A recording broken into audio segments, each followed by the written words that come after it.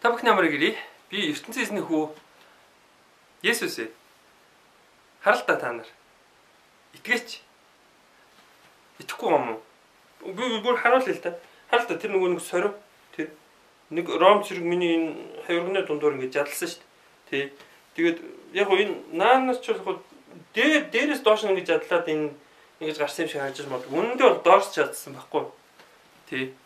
Тэгэд эцэг бид хоёр ярьж байгаа тэгээд таарт одоо үнгүү үнгүү ч юм бэ тийм мөнхийн амьдрал бэлгэлт юм уу гэж шийдсэн. Гэтэ бидний үгэнд итгээ те а миний эцгийн зарилгыг дагсан хүмүүст би үнгүү мөнхийн амьдрал бэлгэлж байгаа шүү. Тий. Анхаарал тавьсан баярлалаа. Тий. Та бүхэн намайг гэрээ. Би өнөөдөр аа манай дэлхийг одоо бөөрн хий гэж хэлсэн хүнийг шатаасан шашин буюу христийн шашны талаар юу гэж бодд юм бэ гэдгээ тийм хуваалцсан юм. Олон хүн тэгж асуусан байгаа. Өөрөө христийн шашны талаар юу гэж боддог вэ гэж. Аа сайн сайн шиг тийм явдал гарсан байхгүй юу? Одоо жишээ нь нааг харалтаа би ертөнцийн эзний хүү. Та нар одоо итгэхгүй байгаа юм уу? Тэ? Харалтаа миний шами тэр шами ам навтгар хамар ертөнцийн эзний хүүл угаасдгийг гэсэн шиг тиймэрхүү юм болсон байхгүй. Тэгсэн чинь хүмүүс итгээгүй. Тэгээ нөгөөдгий чи авчид цууталчихсан. А тэгээд нөгөө нэг Роми нөгөө нэг тэр захирагч пилот гэж байсан баха. Тэр нь одоо жишээ нь энэ хүн одоо ямар нэгэн гэмт хэрэг хийгээгүй одоо тийм том юм хийгээгүй. Яагаад энэ хүнийг цуглах хэрэгтэй юм гэхэл наад чи өөрийгөө одоо ертөнцийн эзний хүүгээд нь штэ. Тэгээ энэ Роми эзэнт хаан эзэнт гүрэнд чи одоо Роми эзэн хаан чи одоо тэр ертөнцийн эзэн одоо шинэ хамгийн дээд бурхныг төлөөлөгч шүү дээ. Тэгтэл чин наа чин Роми эзэн хааны дээгүр өөрийгөө тавиад энэ шүү дээ. Энэ болохоор айгүй том тийм гемт хэрэг юм аа. Энийг одоо цуудлах хэрэгтэй. Энэ гэсэн гэж байна. Тэгэхээр чин нөгөөд чин одоо тэгвэл энэ үгээр чи ертөнцийн эзний хүү юм бол ард түмнээс асууя. Ард түм мэдж байгаа шүү дээ, тий? Гэсэн гэж байна. Тэгээ ард түмнээс асуусан чинь а энэ нэг юм дээрэмч юм байна. Энэ дээрэмчнийг судлах уу эсвэл одоо энэ өөрийгөө ертөнцийн эзэнгийн хүү гэдэг байгаа нөхрийг судлах уу гэсэн гэж байна. Тэгэхээр энэ ертөнцийн эзний хүү гэдэг байгаа нөхрийг суудл гэсэн ажаа. Тэгээ судалчихсан.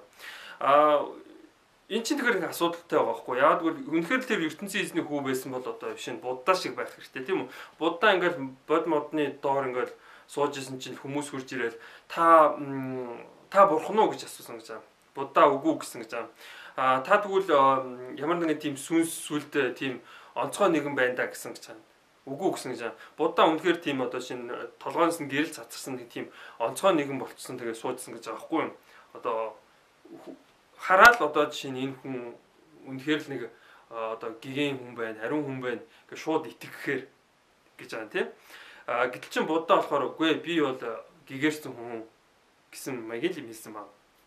Тэрнтэй адилхан хэрэв үнэхээр Есүс Христ өөрийгөө тэр ертөнцийн эзний хүү гэж итгүүл одоо тэр балкон ч юм уу тэрэн дээр гараад одоо жишээ нь тэр ард түмний өмнө ингээл одоо жишээ нь тий өөрийгөө бусдыг итгүүл чадсан бол одоо жишээ нь үнэхээр л одоо жишээ нь тэр өөрийгөө байтугай тэр нөгөө нэг хажууд байгаа тэр дээрэмчний хүртэл аврах байсан гэтэл үгүй түүнийг авчид цовдлчихсан.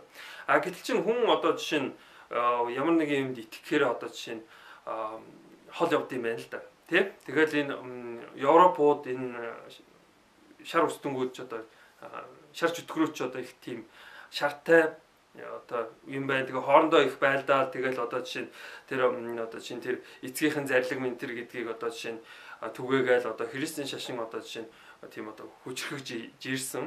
Аа тэгээд христийн шашин одоо шин лалын шашинтай бижигнжсэн 12 дугаар зуун Чингис хаан гарч ирсэн. Тэгээд Чингис хаан лалын шашин бас христийн шашинууд бүгднгийн нухчин дарсан.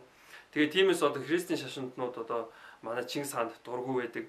Тэгээд Монгол хүнд бол энэ зөхгүй шашин яагаад гэвэл Монгол хүн болохоор нөгөө Чингис хааныг одоо жишээ нь одоо Монгол хүний мэдээж Монгол хүний эцэг шүү дээ тийм үү.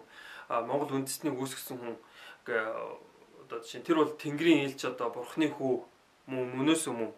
А гэтэл чи Христийн шашинд болохоор тэр одоо жишээ наад чөтгөр сатаны одоо нэгэн илч те дөрвөн одоо мортны нэгж гэдэг юм тиймэрхүү юм байдаг.